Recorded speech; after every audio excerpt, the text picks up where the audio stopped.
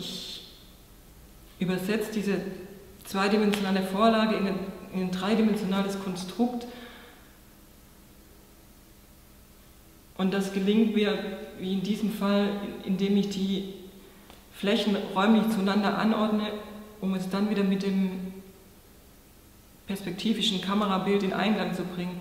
Das heißt, ich muss meine Flächen vor der Kamera schon perspektivisch verzerrt bauen, um dieses Kamerabild zu erreichen, das ich nachher will. Ich kann auch nur einen Kamerastandpunkt einnehmen, um das Bild zu haben, das ich mir vorgenommen habe. Sobald ich den Kamerastandpunkt verlasse, entsteht ein neues Bild, das mich so auch nicht mehr interessiert.